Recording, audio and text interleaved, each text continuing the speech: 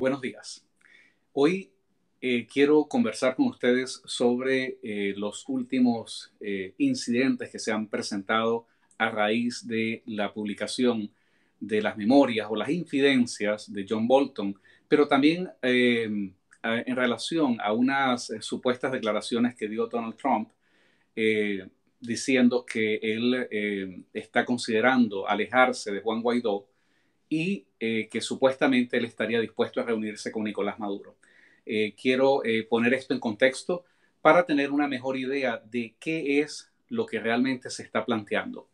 Lo primero que tenemos que entender es que estamos en este momento en una guerra,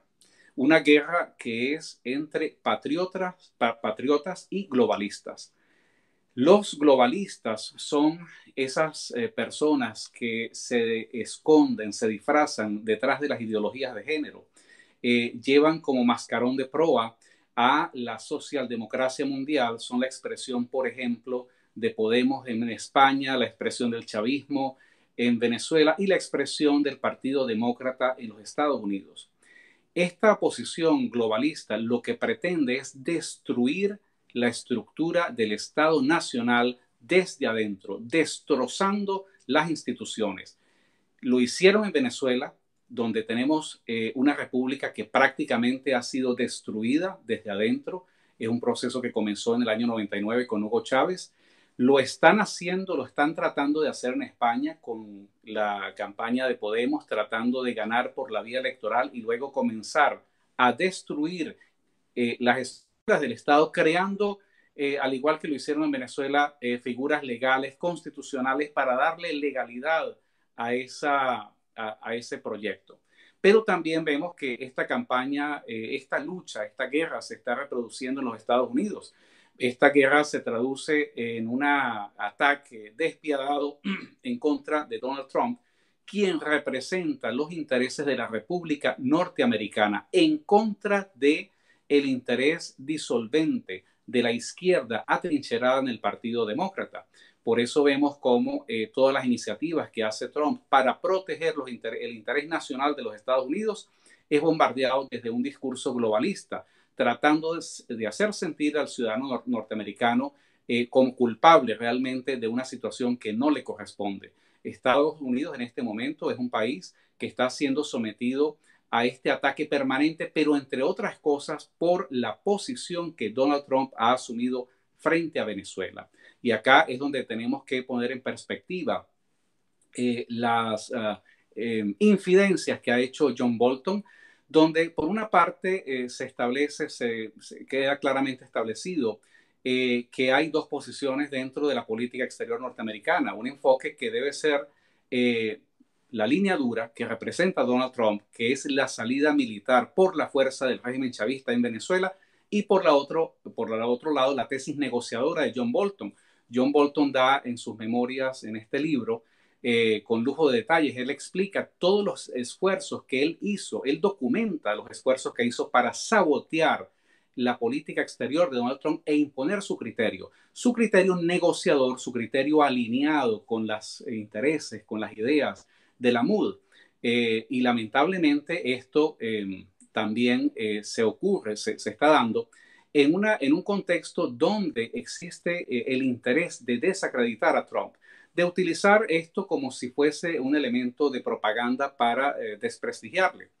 Pero lo otro que es muy importante es la constatación de dos cosas. En primer lugar, que efectivamente Donald Trump siempre ha considerado la salida militar como una opción necesaria, viable,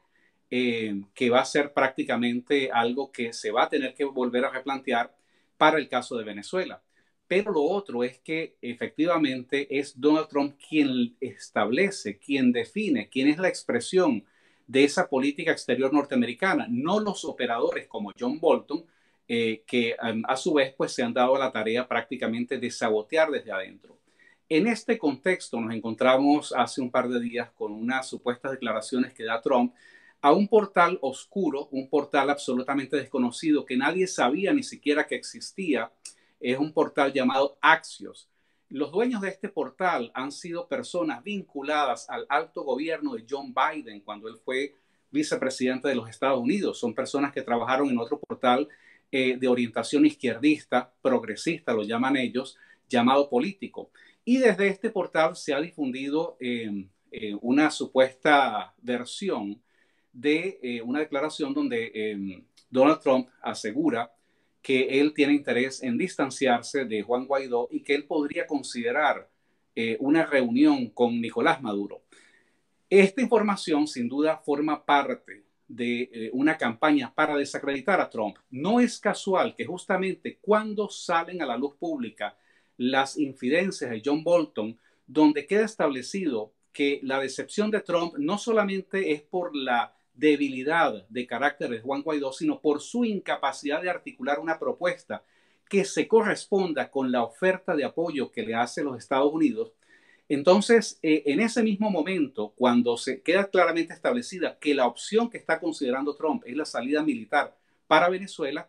surge este nuevo elemento en medio de una campaña que lo que pretende es, por una parte, desacreditar, debilitar la tesis de la intervención militar internacional, pero también eh, quieren provocar eh, una reacción de parte de Trump o de la Casa Blanca de apoyo a Guaidó. O sea, esto ha sido eh, diabólicamente concebido como una manera eh, de provocar una reacción. Y es posible, seguramente em, hoy eh, la Casa Blanca pues tendrá que explicar em, en qué contexto esto ha ocurrido, pero lo importante que tenemos que rescatar acá es que Donald Trump no necesita intermediarios ni interlocutores. A Donald Trump hay que buscarlo en base a sus planteamientos que él normalmente hace en forma directa vía redes sociales o a través de la televisión o a través de sus acciones. De manera que eh, nosotros vemos como em, de una forma eh, totalmente manipulada, eh, esta gente que se alinea con las ideas, con todo este planteamiento globalista, que le hacen juego a la izquierda, que le hacen juego al chavismo, el colaboracionismo que está anidado y atrincherado en la MUD y del cual Juan Guaidó es su mejor representante, no pudieron esperarse sino una vez que vieron el titular de que eh, Donald Trump estaría considerando eh, una supuesta reunión con Maduro, inmediatamente lo dan como un hecho cierto y comienzan y desatan toda una campaña para desacreditar a Donald Trump. Esto simplemente es una confirmación de que esta mood, esta falsa posición, le hace el juego al chavismo, que ellos nunca han creído y siempre han preferido sabotear la política de apoyo que ha ofrecido los Estados Unidos. Y es por eso que ahora eh, ellos están tratando eh, de desacreditar seguramente ante la falsa esperanza de que desacreditando a Donald Trump por esta vía, entonces eh, ellos piensan que Donald Trump eventualmente perdería las elecciones y frente a un gobierno como el de Biden, que sería la entrega total al chavismo en Venezuela y la claudicación de los intereses de los Estados Unidos, seguramente la, la MUD tendría un argumento para decir que, bueno, que Estados Unidos pues no está apoyando una intervención internacional. Yo veo eh, de una forma absolutamente deplorable, yo diría despreciable, el papel que han jugado en las últimas horas eh, unos presuntos eh, analistas políticos que son piratas, que son fabuladores y charlatanes, unos supuestos periodistas que lo que hacen del periodismo es el palangrismo y unos intelectuales que se han convertido en proxenetas de la política. Ellos han, se han dado la tarea de tomar con pinzas el titular sin ni siquiera indagar qué representa este portal, quién está eh, produciendo la noticia y desde una vez, desde de, inmediato, se han dado la tarea de criticar y de cuestionar eh, la posición de Donald Trump. Nosotros los venezolanos que sabemos y entendemos que vemos en Donald Trump el mejor aliado que Venezuela haya tenido hasta el momento en su lucha por la libertad, nosotros no vamos a dudar ni un solo minuto en la transparencia, en la intención que Trump ha planteado de salir por una vía militar, por una vía de fuerza del régimen chavista. A esto también habría que agregar que es la absoluta ingenuidad de estos supuestos eh, analistas, mercaderes de la política, de que Donald Trump eh, realmente esté considerando reunirse con Nicolás Maduro cuando Estados Unidos es el país que por primera vez le ha puesto frente a la indiferencia de otros países, le ha puesto precio a la cabeza de Maduro y de la élite política gobernante de la narcotiranía en Venezuela. Entonces, eh, nosotros tenemos que poner esto en perspectiva. Eh, esto nos debe llevar también a, a establecer que lo importante es que Trump y el gobierno de los Estados Unidos necesitan un interlocutor del lado venezolano que no puede ser la falsa oposición, que no puede ser esa intelequia y esa caricatura de una Asamblea Nacional y que menos aún podría ser Juan Guaidó. Eh, nosotros esperamos que efectivamente Donald Trump le quite el apoyo a Juan Guaidó y se lo debe quitar porque Juan Guaidó está alineado con los intereses globalistas. Juan Guaidó